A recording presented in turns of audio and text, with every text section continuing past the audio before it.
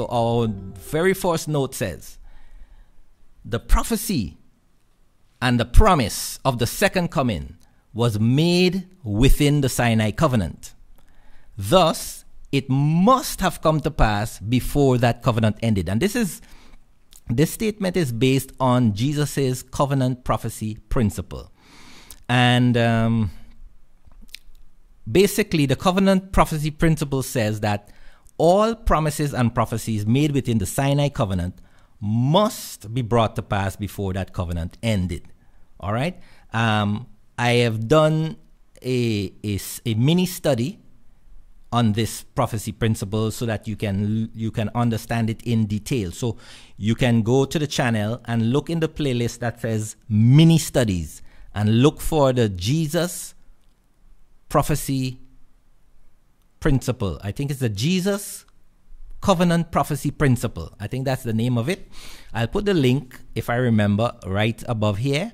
But if not, you can, as I said, go to, go to the new New Kosmos Videocast channel Look in the playlist which says mini studies, and you'll see the Jesus Covenant Prophecy Principle video there. It's, it's, it's just about 10 minutes long, and that will help you to understand this principle. But basically, it says that once the promise was made to Israel under the Sinai covenant, it had to be brought to pass to Israel within the Sinai covenant before the covenant ended, right? And so Jesus, the, the prophecy of the second coming was made within the old covenant. Did you know that?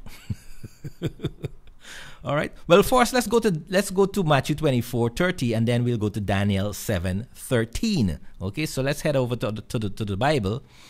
Um, let's head over to the Bible and we'll go to Matthew 24, 30. Okay, Matthew 24, 30 is where Jesus makes one of his one of his many promises to of his of, of his coming.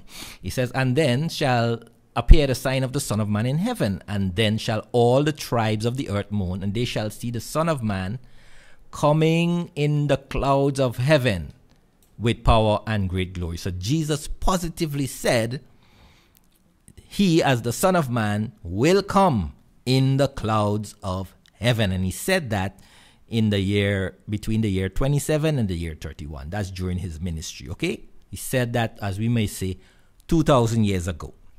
Now, but what Jesus was promising here, what he was saying here, he was basing it off of an old covenant prophecy. Did you know that? Comment down below and tell me if you knew that Jesus' promise to come again in the clouds of heaven was based on a old covenant prophecy. Yes, it's Daniel chapter 7, verse 13. So let's go over there, Daniel chapter 7, verse 13, and scroll down to verse 13. I'm not going to read the whole thing. If you want, you can do that. But I'm going to show you. Daniel saw in night visions, and this is very important. Okay? Daniel was seeing a vision, so which means what he is seeing is highly symbolic. All right? Visions are symbolic. Um, and behold, one like the Son of Man came with the clouds of heaven. you see where Jesus got it from? He got it from a vision that Daniel had. And once it is a vision, most likely the term clouds of heaven is symbolized or represents something else, not not a not literal atmospheric clouds he's talking about. Okay? It's symbolic of something else. It's symbolic of a heavenly reality. Okay? So, but here's the here's the here's the prophecy. And it is a prophecy made during the Sinai covenant. So it is made to Israel. So the second coming of Christ must be fulfilled to Israel and it must be fulfilled during the old covenant because it's an old covenant promise. It had to be fulfilled before the before the covenant ended. Comment down below and tell me if you knew that already before. I'm telling you, you have never heard it like this anywhere. Right? So, Jesus used use of that phrase coming with the clouds of heaven is taken from a vision. Therefore, he is making a symbolic term. He's not speaking literally. Okay? Now, most importantly, the timing of the coming.